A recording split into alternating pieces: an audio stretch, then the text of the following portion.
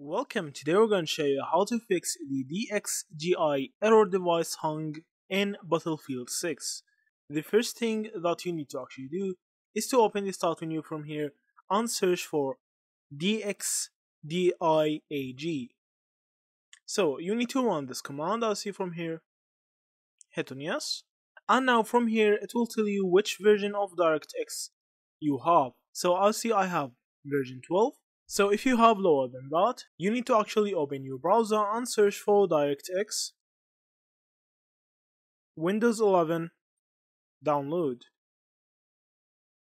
So you will find this Microsoft page, you need to click on it. And from here you can download the latest version.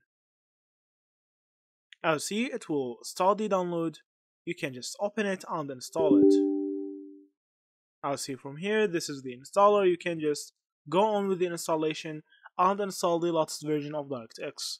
If this didn't fix your issue, you can either open the NVIDIA app or the AMD app, depending on your graphic card driver. So after you open the NVIDIA app, as see from here, you can actually go to drivers from here, and now you can actually update your NVIDIA drivers. So there is a new update I'll see from here, you can just download it, and that will surely fix your issue. So after you download this driver, you can just install it and that will hopefully fix your issue.